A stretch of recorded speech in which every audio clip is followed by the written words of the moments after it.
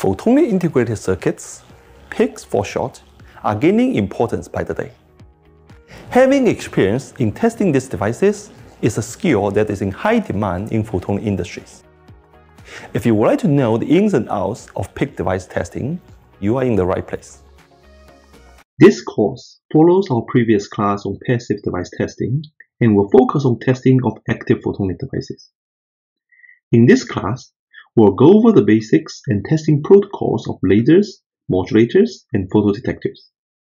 You will learn about the matrix to benchmark the performance of these devices, as well as full photonic links. The course will also provide video demonstrations showing how the measurements are performed in the lab. I hope that you will enjoy both of the photonic test classes.